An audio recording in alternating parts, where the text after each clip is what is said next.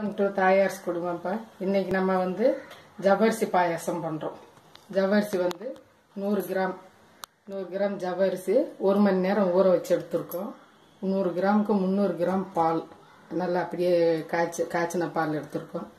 பால் காயாம அப்படியே அந்த ஜவ்வரிசி சேர்த்துக்கிறோம்.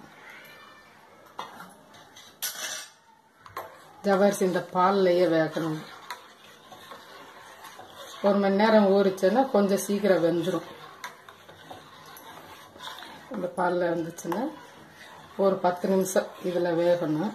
இதுக்கு நம்ம நூறு கிராமுக்கு இரநூறு கிராம் ஜீனி எடுத்திருக்கோம். ஒயிட்டு சுகர் எடுத்திருக்கோம். இது வேகட்டும் நம்ம சுகர் சேர்த்துக்குருவோம் ஒரு பத்து நிமிஷம் வேகட்டும். ஜவ்வரிசி. பாருங்கள் பத்து நிமிஷம் நல்லா வெந்துருச்சு.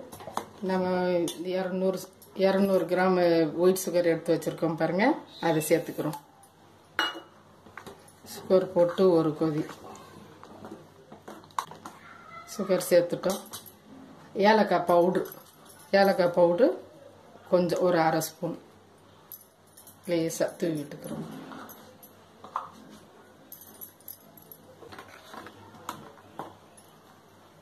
இந்த ஸ்பூன் ஒரு ஸ்பூனுக்கு மில்க் மைட் சேர்த்துக்கிறோம். பாருங்க. ஒரு ஸ்பூன் போதும். பால்லையே வந்து சுகர் வேற போட்டிருக்கோம். ரொம்ப திகட்டலாக இருக்கும். இந்த ஒரு ஸ்பூனுக்கு மில்க் மைட் சேர்த்துருக்கோம். இது ஒரு கொதி கொதிக்கட்டும் நம்ம இதுக்கு தேவையான முந்திரி பருப்பு வறுத்துக்கிறோம் கிஸ்மஸ் பழம் முந்திரி பருப்பு வறுத்துக்கிறோம் பாருங்க சின்ன கடாய் வச்சு ஒரு ரெண்டு ஸ்பூ- ஒரு ஸ்பூன் கூட ஒரு ரெண்டு ஸ்பூன் விட்டால் போதும். நெய் கம்மியாக போகுது நெய் காஞ்சிருச்சு. ஃபஸ்ட்டு முந்திரி பருப்பு போட்டுக்கோம்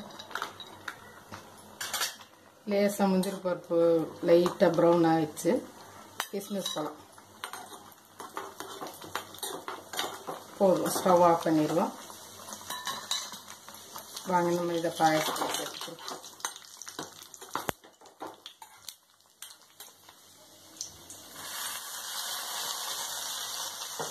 வாங்க நம்ம வேறு பாத்திரத்தில் ட்ரான்ஸ்ஃபர் பண்ணிக்கிறோம். பாத்திரத்தில் மாற்றி பாருங்க டேஸ்டான ஜவரிசு பாயாசம் நமக்கு ரெடி ஆயிடுச்சு. நீங்களும் செஞ்சு பாருங்கப்பா டேஸ்ட் பண்ணி பார்த்துட்டு டேஸ்ட் பிடிச்சிருந்துச்சுன்னா கமெண்ட்ஸில் போடுங்க சப்ஸ்கிரைப் பண்ணுங்க. சுவையான ஜவ்வரிசி பாயாசம் ரெடி